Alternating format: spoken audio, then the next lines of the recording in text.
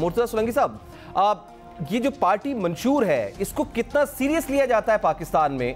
और क्या ये सिर्फ़ खानापुरी होती है और पार्टी मंशूर आने के बाद इस पर डिबेट्स होनी चाहिए? इस पर बात होनी चाहिए, अभी चौंतीस दिन बाकी रह गए, मंशूर ही सामने नहीं आया है।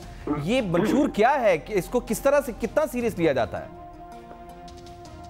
आपने बहुत अच्छा सवाल किया।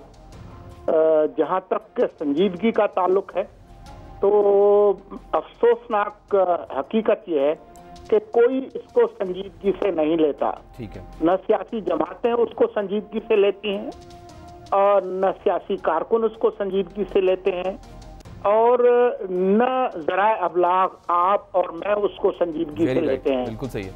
हम हमारी जो सहाफत है वो भी आ, ही सेड और शी सेड सहाफत पर मबनी है। उसमें मसाला ज़्यादा है और जो मुल्क को दरपेश मसाइल हैं, उस पर प्रोग्राम होता है मंशूर, जिसमें आप बताते हैं कि आपका मुल्क उसको सियासी, मुआशी, खारजा, पॉलिसी इस तरह के जो बुनियादी मसाइल हैं, उस पर वो पार्टी, हुकूमत में आकर क्या करेगी?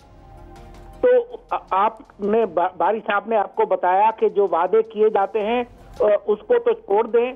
अब हम एक महीना दूर हैं और पाकिस्तान की तीन बड़ी जमातें, जिनके बारे में कहा जा रहा है कि वो हुकूमत बनाएँगी, उनमें से किसी जमात ने अपना मंशूर नहीं दिया। पीटीआई ने सौ दिन का प्रोग्राम ज़रूर दिया है, वो नारे ज़्यादा हैं। लेकिन कोई मंशूर के जी आप ज़रात का क्या करेंगे, पानी के मसले का क्या करेंगे, भारत के साथ ताल्लुकात को क्या करेंगे, यूरोप के साथ क्या करेंगे आपका जो सनतकारी है उसका क्या करेंगे, बेरोजगारी को कैसे खत्म करेंगे, कुछ नहीं है। आपने एक जमात कहा अवामी नेशनल पार्टी एक छोटी सी जमात और है अवामी वर्कर्स पार्टी, उन्होंने अपना मंशूर दिया है। किसी बड़ी जमात ने अभी तक अपना मंशूर नहीं दिया। नहीं दिया।